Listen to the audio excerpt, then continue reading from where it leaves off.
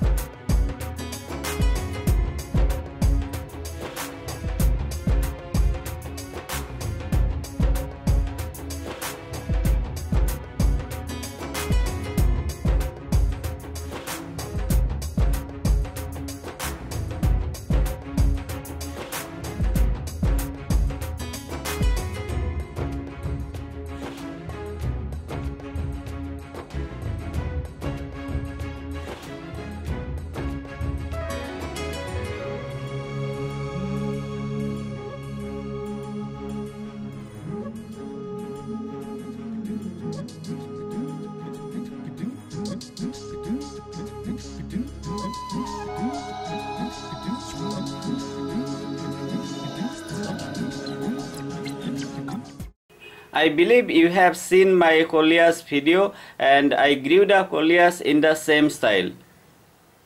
In that video I got many questions about the plastic clip, I mean the hanging clip whatever I am using here and that's why please allow me to inform you where I got this.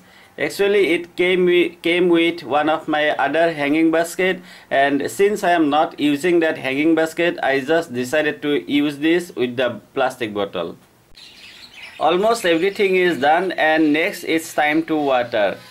But you can see it's already raining in my place so I am just going to keep the bottle in a place where it will be getting the direct rainwater and I hope it's going to like it.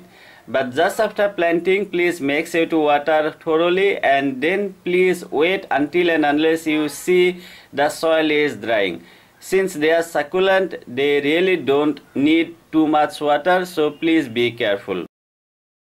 While talking about sunlight requirements please note that tangleheart plant doesn't need too much direct sunlight so you can definitely grow them in a bright area or if you are able to provide them let's say 2 to 3 hours of morning sunlight it's going to work absolutely fine I am keeping the pot in my balcony itself and since my balcony gets the afternoon sunlight, some of the leaves are turning brown as you can see here.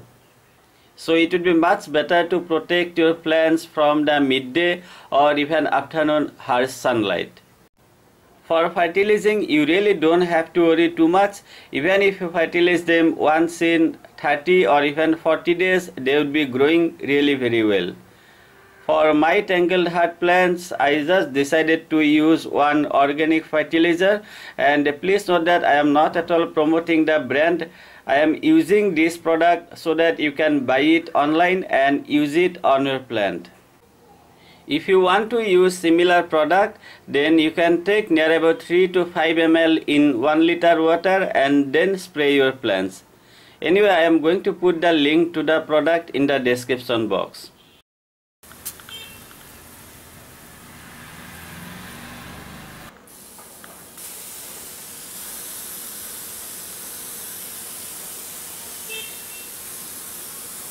Finally, the last important thing which is watering.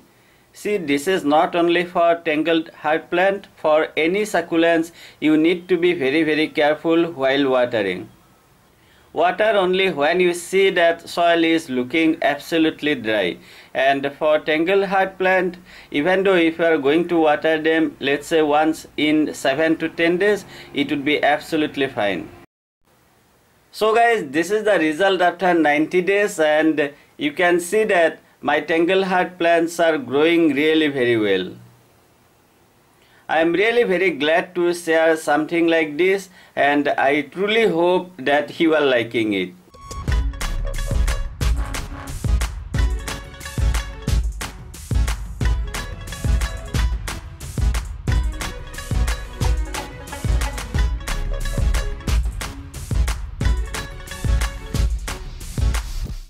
If you have enjoyed the video please do me a favor. Please like the video share it and subscribe to my channel if you haven't and many many thanks for doing that.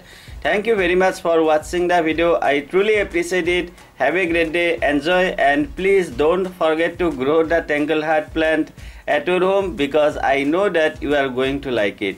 Take care and have a great day. Enjoy